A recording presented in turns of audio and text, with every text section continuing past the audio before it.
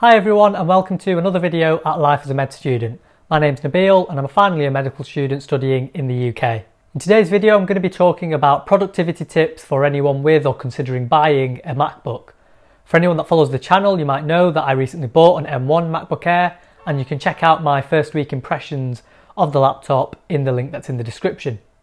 So in the past few weeks of using the MacBook Air, I've discovered this one game-changing feature that I now use all the time to help me with my medical school coursework.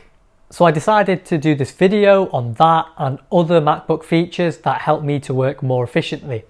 Now a few of these sort of features I only discovered literally in the past few weeks uh, and some of them I've actually been using for years now. But if you're interested in videos like this, study tips or my life as a med student in general, please make sure you subscribe to the channel. So, kicking things off. I don't know how long this feature has been around for, but quite how I've not been using it for all this time is something I'm kicking myself for. And it's all down to this little button here. It's the dictation tool that lets you talk into the laptop and it converts your speech into text. You might need to go onto system preferences to activate it like this. So if you search for dictation, and there you can decide which button will activate the dictation feature. Some of you might have known about this feature for ages now, but like I said, I've only just recently discovered it.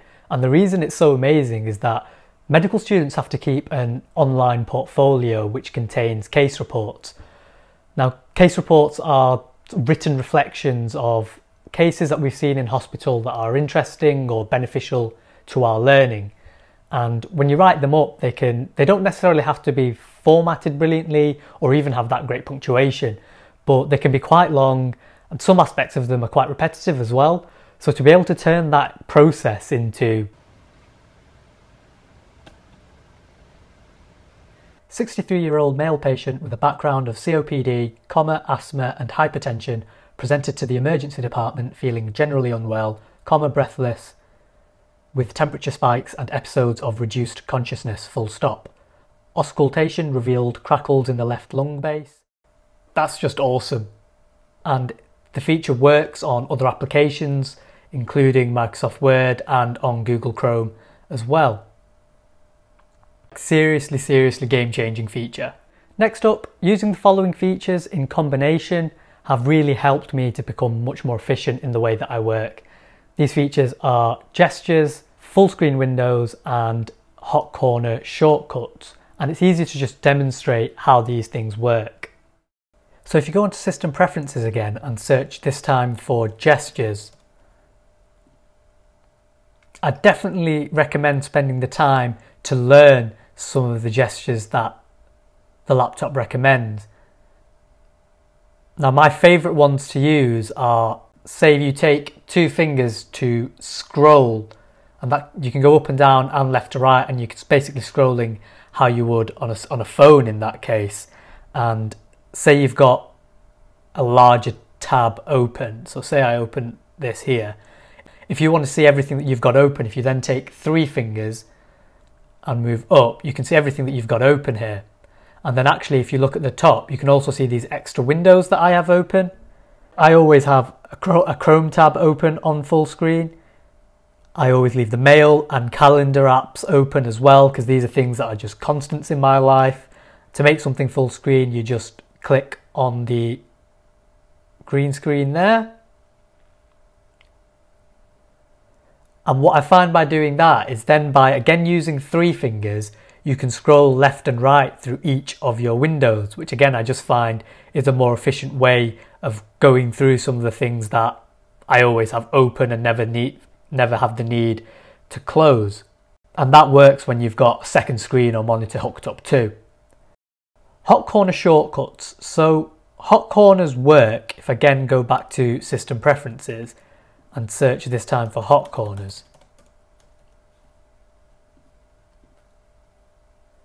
So these work by programming certain cor if you move the trackpad to a certain corner it will do a certain function. So if I use the trackpad to go to the top right it will open up all my applications like that. Again it's just a more efficient way of doing things. And the other thing that I use is putting the display to sleep by going to the top left. At the end of the day, it is all about maximizing efficiency with those basic tasks. Utilizing split screen is great for tasks that require you to be looking at multiple documents or documents alongside browser tabs when you're doing your work.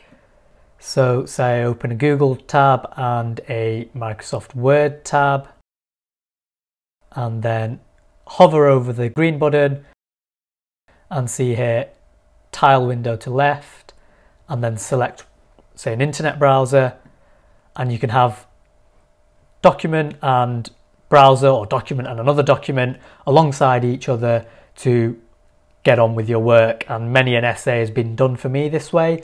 But also great for having two internet tabs side by side. Great for watching multiple football matches alongside each other or I don't know the tennis alongside the football as well. So while we've got an internet tab open imagine we're researching a topic. I'll go for renal physiology. Uh, Wikipedia of course Let's see if there's a word here that might need some clarification. Okay, interstitium. So what did I just do then? Again, three fingers. If you just tap the trackpad with three fingers, you get an instant definition of any word as well as the thesaurus alongside it. And you can just see how helpful that could be for well, anyone really, but definitely students doing research projects or homework. I love how quickly this feature works, it's brilliant. And lastly, again, I only recently discovered this, and I know I'm late to the party on this one, but I've got loads of documents, PDFs, and whatnot, and sometimes it's difficult to tell if what I'm about to open is the right thing, and if it involves opening, say, Microsoft Word or the PDF, well, to make sure that I've opened the right thing and save me from having to close what I'm about to open, if you just click a document and then press the spacebar, you get an instant preview of what it is you're about to open. And I think that also works for videos as well. So if you hover over whatever it is, you also get that as an instant preview. And I just really like that particular feature. Like I said, saves me waiting for an application to open on the wrong file. That's it for this video. I hope there were some helpful tips in there. Maybe you already knew about all of these features, in which case please do let us know in the comments. Are there any other features that you find help make you more efficient on your MacBook? If you like this video, leave a thumbs up and please do subscribe to the channel for more content. As always, thanks for watching and I'll see you next time.